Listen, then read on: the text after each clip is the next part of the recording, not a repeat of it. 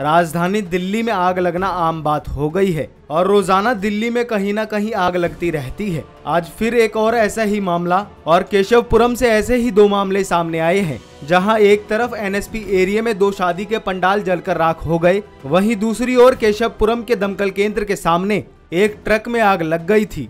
आज दिल्ली एनसीआर में धूल भरी आंधी चलने के बाद हल्की बूंदाबांदी हुई। जिससे शहर वासियों को गर्मी से राहत तो ज़रूर मिली, लेकिन दूसरी तरफ़ इस आंधी से किसी ने बहुत कुछ खो दिया। दरअसल आधी रात एनएसपी मेट्रो स्टेशन के पास स्थित एक मैदान में शादी के दो पंडाल लगे हुए थे, जिसमें से एक पंडाल में शादी समारोह चल रहा था, जबकि दूसरे पंडाल में अगले दिन बारात आनी थी।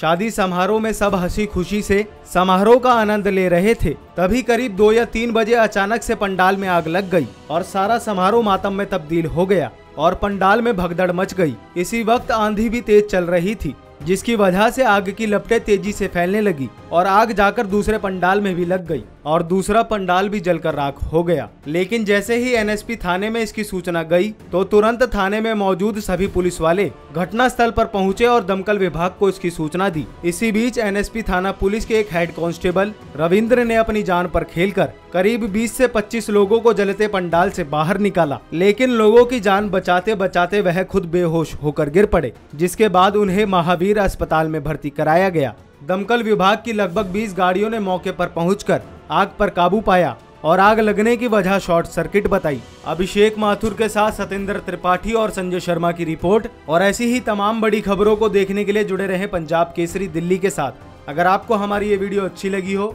तो हमारे फेसबुक पेज पंजाब केसरी दिल्ली को लाइक करें और अगर आप हमारी ये वीडियो यूट्यूब पर देख रहे हैं तो हमारे यूट्यूब चैनल पंजाब केसरी दिल्ली को सब्सक्राइब करें ताकि दिल्ली से जुड़े पल पल के अपडेट्स आपको मिलते रहे। अभिषेक माथुर, पंजाब केसरी, दिल्ली।